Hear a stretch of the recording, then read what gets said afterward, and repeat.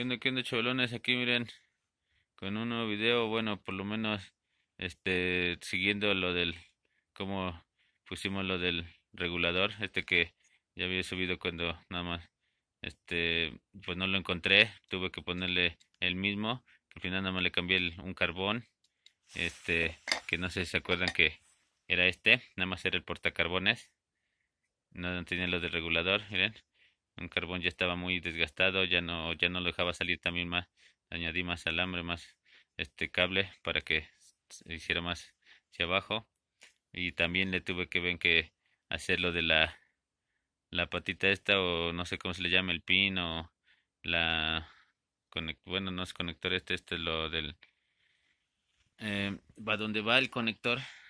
Pero pues miren ya se había desgastado lo hicimos lo hicimos más grande que después les subiré ese video cómo hacerlo, que también les ayuda y pues como les digo, miren, subió, sirvió provisionalmente casi lo de unas dos semanas en lo que conseguí el regulador, el nuevo, y pues que es este, que al final como les digo, miren, este lo que trajo fue que pues los, como les mostré en el, empezando el video, que aquí este, lo de los carbones estaban muy puntiagudos y no se estaba haciendo bien contacto, así como, como ahorita miren, como pongamos eh, iría, a ver, estaría así, iría así. ¿Ya ven? Aquí está el rotor. Miren. Y supongamos que está aquí. Miren, vean. Ya vieron cómo ya así ya haría bien contacto.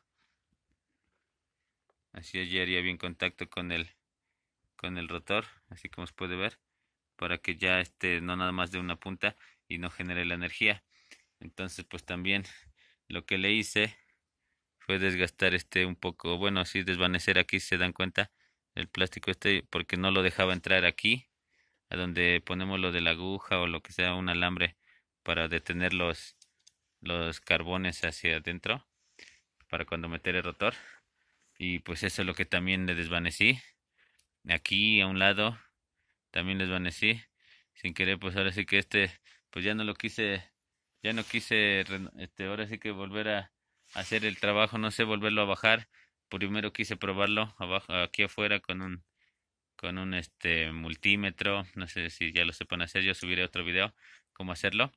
Y al final este pues no estaba generando energía y pues lo que nos dimos cuenta que rozaba y que aparte aquí pues no, no entraba bien hasta adentro. Y pues esta parte lo, al final lo bueno que no fue que dañaría o que dañó aquí donde van conectados los cables al, al rotor que eso fue lo principal. ¿Vieron? Y pues al final nada, sí tuvo solución y todavía pues nada más fue esto que estaba haciendo y al final ya lo desvanecí para que ya entrara más hacia abajo, ya no tope o ya no roce con el lo del rotor, con esto, con los, los fierritos estos, las alpo con, o, o con esto, ¿no? Entonces, pues es una de las cosas que ya le hice también, ya para que quedara un poco mejor. Y pues al final ya no le puse también la base que va aquí arriba porque ya estorba también, como le digo, ya toparía con esto entonces ya no quedaría bien. Entonces un tip que les paso, chavalones, como ya les he mostrado la otra vez cuando lo estábamos soldando al final sin querer, pero pues sí quedó, se puede decir, pero no bien, porque a lo mejor si lo hubiéramos este puesto o desvanecido desde un principio aquí, pues ya hubiera quedado mejor, ¿no? O sea, al final este hubo una falla como se sabe a veces.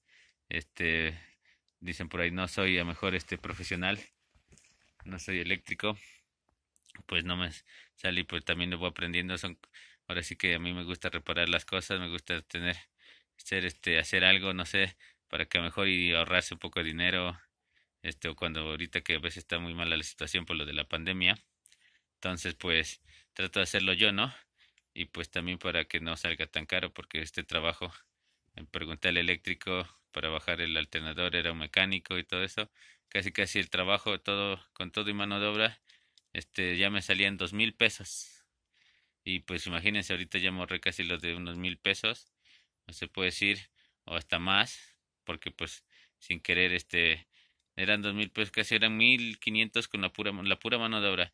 Y esta me costaba mil quinientos mil seiscientos imagínense casi los de tres mil pesos ven sí que al final pues sí me ahorré sí me ahorré este, como le digo unos mil pesos mil trescientos pero pues ya es algo, ¿no? A, que pues uno lo tenga que ir a pagar, que al final pues también es un poco de trabajo, ¿no? Sí es un poco de esfuerzo, pero vale la pena, ¿no? y pues también la satisfacción de que uno mismo hasta lo compone y vas aprendiendo cosas nuevas. Como les digo, espero que les sirva este video, suscríbanse a mi canal, Cholochu, Dremi Yang, que miren y no se desesperen porque así como yo ahorita, miren, ya va la tercera vez que bajo el alternador, que no es muy fácil que digamos, y pues miren, ya ahorita ya son casi las 12, ya es medianoche y empecé como desde, también como desde las 11 de la mañana, que a lo mejor y no todo el tiempo es decir que estuve haciendo solo esta cosa, ¿verdad?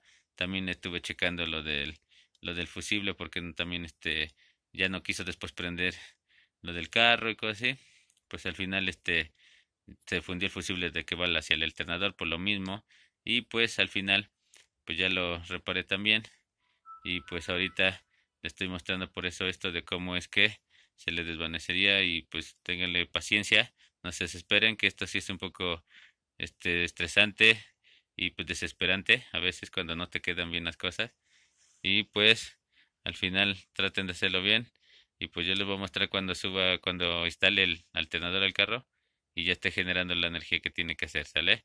Hasta luego, como les digo otra vez, suscríbanse, denle like y activen la campanita de notificaciones y hasta luego. Nos vemos en el próximo video, chavalones.